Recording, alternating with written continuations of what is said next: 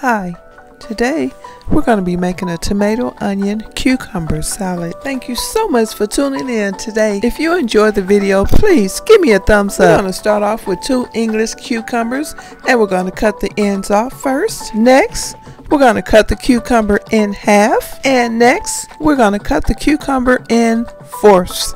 Next, we're going to begin by cutting the cucumber in small bite-sized pieces.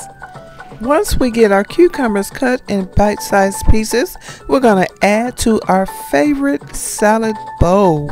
This is my favorite salad bowl. The color is absolutely beautiful.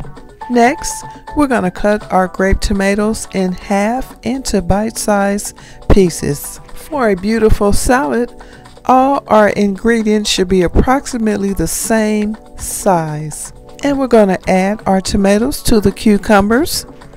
Next, we're going to be adding our beautiful red onion, which is the most appropriate onion for our salad.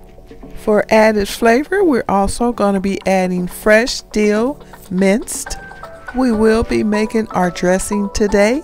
The ingredients will be listed on the screen. You can also use the dressing of your choice. If you are enjoying the salad, please give me a thumbs up. It encourages me to make more videos. I love salad, and I hope you do too. It's so good for you.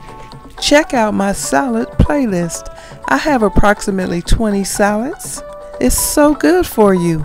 This salad is so delicious, so tasty, and so flavorful.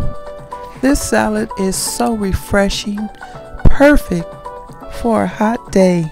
If you like this delicious salad, share this video with your family, share this video with your friends, and don't forget to subscribe on your way out. I'll see you in the next one.